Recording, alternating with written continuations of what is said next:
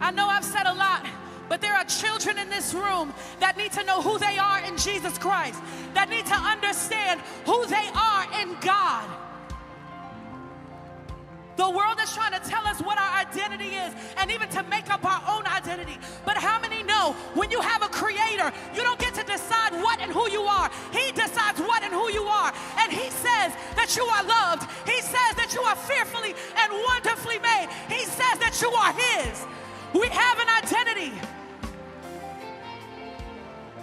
We have an identity. We have a father. We have a father. And so we won't just sit back and accept what's being given to us. We, as the people of God, will go into action and begin to speak those things that are not as though they were. We prophesy, we speak to it, and we speak life in Jesus' name. Come on, if you want to do it, lift your voice to Jesus.